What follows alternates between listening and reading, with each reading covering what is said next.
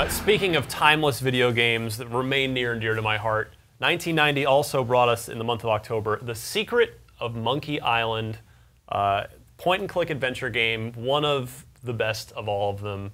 I was, you, you kind of had the, the LucasArts adventure games, and you had the Sierra adventure games. And I was always a LucasArts guy because Yeah. they were funny. Yeah, 'cause- This- this- I mean, the Sierra, you know, the King's Quest, they tried to be, Space Quest tried to have a little humor, but you could die, and it was a lot sort of, the progression was more frustrating and difficult.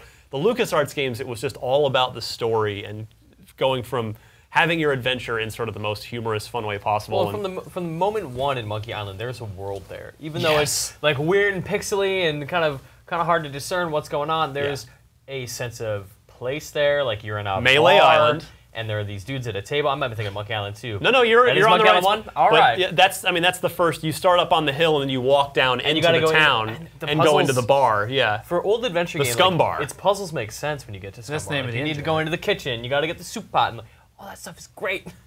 Yeah, it's uh, so you play Guybrush Threepwood, Oh, Guybrush. mighty pirate, a, a sort of bumbling, inept. Is that is that name a reference to like 3PO, like C3PO? I It is not. Uh, I actually got Missed this story recently from Ron Gilbert. Uh, I, I appeared on another podcast with him, and it's it has to do with their tools. The artist tool set were called. Uh, were called, you know, they're, they're called guy brushes because they just referred Yeah, to the. yeah. Ca- they Oh, referred that's to the, funny. They referred to the character as Guy. He didn't have a name, so and then so the the, artist would, the guy, would, yeah. would that would draw him. Well, this is the guy brush that we're using, and then Threepwood I think was just something something funny. goofy. He said so. It's just a, Cool. a strangely goofy name, but That's yeah, great. you're this bumbling, you know, young man who's trying, who desperately wants to be a pirate, and you uh, sort of stumble your way through. So what's the secret?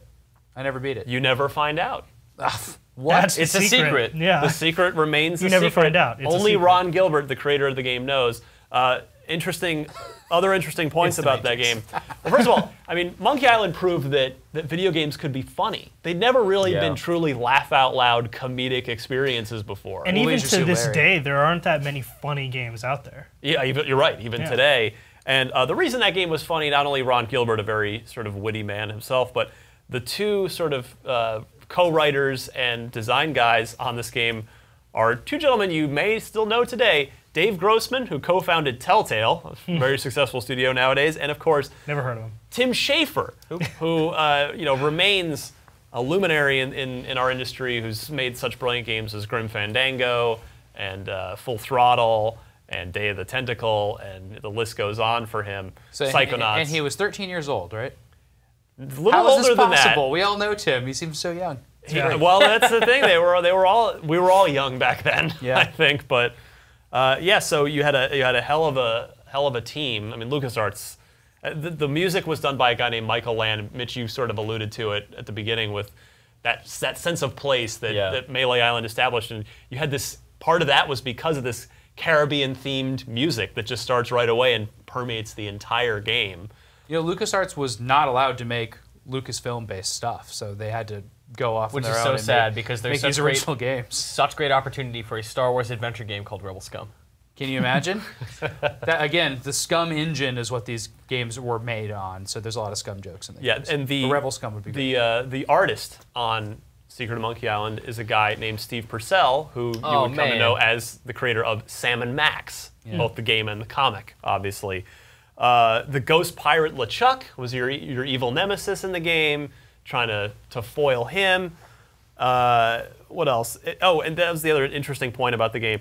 Monkey Island was selected as one of the five games for exhibition at the Art of Video Games in the Smithsonian back in 2011. So that's how important Monkey No, I'm Island sorry. is. I think it was Pac-Man and Tetris. Probably. I don't know the other Also five. I remember that story. Yeah. Talk about good company, right? Yeah, that's uh, that's some good company to be in. Uh, the Monkey Island 2, LeChuck's Revenge, goes later. That arguably just as good, if not slightly better. But uh, Monkey Island That's Island, my favorite one, Mon- uh, personally. understandably Love- God, so. just the so ending funny. is amazing. We'll, we'll talk Yeah. about that another year. Yeah. But uh, the thing about Monkey Island, again, like Super Mario Brothers 3, it actually is very accessible now. There was a remake that LucasArts did in 2009. Yeah, but the original is not actually not accessible. You can't play the original in any form, right? Well, the yes and no. I mean, Yeah, it like- depends on so your qualification the, definition of the, original, The remake, the, it's called the Secret of Monkey Island Yeah, Special Edition. on You can get it on Xbox Live Arcade, PSN for PS3, so 360 PS3 eh, or PC, and it has a they did a they redid the art, so it's got sort of modern art, but you can press a button and switch back to the original 1990 graphics. Like But they pixel didn't- perfect that's not original. Two doesn't exist though, right? It does. Yes. Oh, it does? One and Okay, two both got that treatment. Two got the treatment a good. year later. So Monkey Island is still very much playable in its largely original form. Highly recommend you I go. think out I and can't play remember if it was just Monkey Island 2. I hope the special edition for one has it. Does it have the commentary?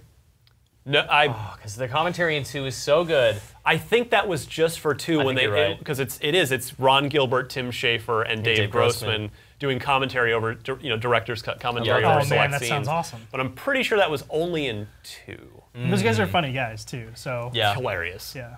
Definitely. God, play Monkey Island. It's so like I, as someone who, like, I don't really like old school adventure games. I love Monkey Island. Did you Love have to it. use a guide?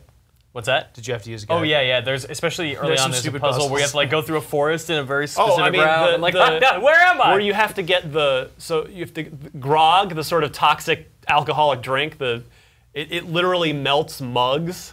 So, and there's a you have to get grog to the jail cell at one point. I know this is like a spoiler if you haven't played the game but it involves you have to keep dumping it. You have to get a bunch of empty mugs and keep transferring it because as you went from screen to screen Oh, it would the, the grog would melt the mug. So you had to keep just dumping it into new That's and, to get phenomenal. the grog the over there. Monkey Island.